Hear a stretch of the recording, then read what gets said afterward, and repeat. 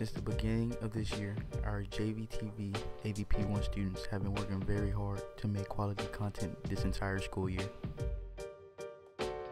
I think uh, my favorite part of JVTV was, you know, just getting to meet a new group of people who are all really interested in making videos, and I, I really like the group.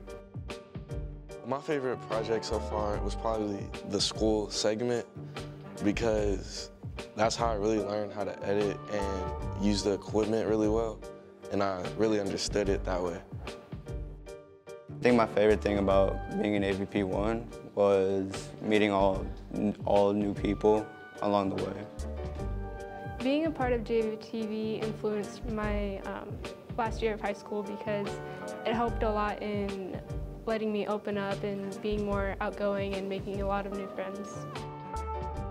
Uh, one thing I like to share with anybody that wants to join the program next year is that you have to be passionate about it. It definitely takes a whole lot of work, so